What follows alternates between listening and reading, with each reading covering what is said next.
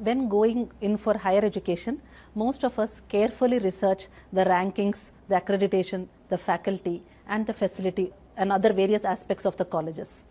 So similarly, as you choose your fertility clinic, there are few aspects that you should always consider. The most important one being the accreditation of the fertility center.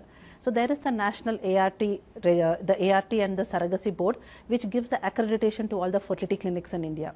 So there are two levels of registration. The level one, which uh, gives us license to practice up to the level of IUI, and there's a level 2 accreditation where not only IUI, we can also do advanced procedures up to IVF and ICSI.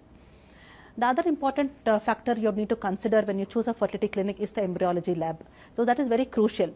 You need to look into what kind of an embryology lab is there. Is it modular? How are the air quality standards maintained? What kind of technology that is there backing the lab with respect to the microscopes they have, the incubators they have, even the lasers that they use for embryo biopsy. So it is very important to also understand the the qualification of the embryologist who maintains the lab because that is where the quality comes.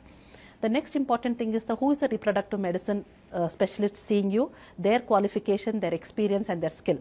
It is also important that you should have a team of reproductive medicine specialists because that is when your procedures go in a seamless way transparency at every step is very crucial. So choose a center that uh, provides you with all the reports of your diagnostics, your procedures done and your medications. Uh, also uh, to avoid any kind of manual or human errors, it is very important to choose a center uh, who maintains their all their medical records in an electronic way and you should also remember that you will be freezing your eggs, sperms and embryos for very long duration. So they need to have a track of all these uh, records uh, so that's why EMR is very helpful in such cases. Uh, do not fall for success rates uh, because they can vary with respect to the age or with respect to the type of gamete that is used because centers that do a lot of third party reproduction could have higher success rates.